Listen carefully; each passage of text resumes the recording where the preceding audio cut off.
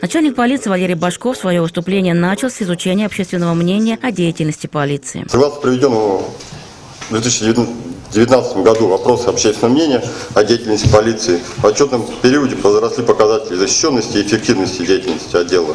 Это для нас важно, так как мы все живем и работаем в этом городе. Но все же по итогам 2019 года количество преступлений, совершенных на территории городского округа, возросло на 5% с 2369 до 2778. Возросло количество имущественных, тяжких и особо тяжких преступлений, грабежей, фактов вымогательства, а также краж автотранспорта. Также следует отдельно выделить возросшее количество преступлений, совершенных в отношении наиболее незащищенных слоев населения.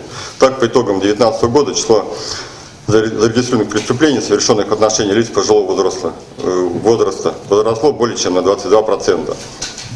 В том числе в отношении данной категории граждан было зарегистрировано три умышленных убийства, с 3 до 9 возросло количество фактов причинения тяжкого вреда здоровью. В целях профилактики имущественных преступлений в прошлом году сотрудниками отдела проводилась активная работа по предупреждению дистанционных преступлений, по раскрытию краж всех форм собственности путем возможного установления мест сбыта похищенного, выявлению лиц, ранее совершавших аналогичные преступления. Также было отмечено, что в 2019 году из незаконного оборота изъято более 5 килограммов наркотических средств. На совершение преступлений в сфере незаконного оборота наркотиков установлено 92 лица, причем 28 наркосбытчиков датчиков. По линии безопасности дорожного движения произошло снижение, в том числе по травмированию и гибели людей, отметил Валерий Башков. Всего же в 2019-м сотрудники межмуниципального отдела более чем 27 тысяч раз отреагировали на заявления и сообщения граждан, что почти на 3,5 тысячи больше, чем в 2018 году.